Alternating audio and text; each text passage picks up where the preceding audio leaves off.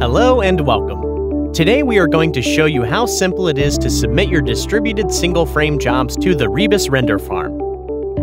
First, make sure you already configured the render settings and set an output. Remember distributed rendering is thought for images with very high resolution. Rebus Farm will send different buckets of the image with similar resolution to different machines, so the final image can render faster. Then, open the Rebus Farminizer menu. You can mark the Activate Auto Start so we do not need to hit the play button in the control center later. Also, activate Render Distributed, and then click on Upload to Rebus Farm.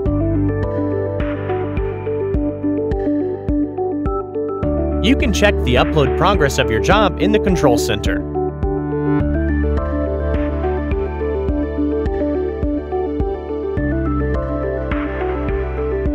If you open the Detail menu, you will see the job is split into two parts. The one that renders the buckets, and the one that puts all buckets together.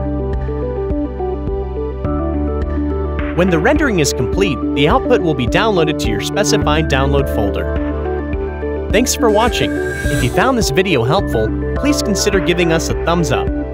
If you have any questions, please let us know in the comments section. Also, here are some other videos that might interest you. To keep up to date with our channel, don't forget to subscribe.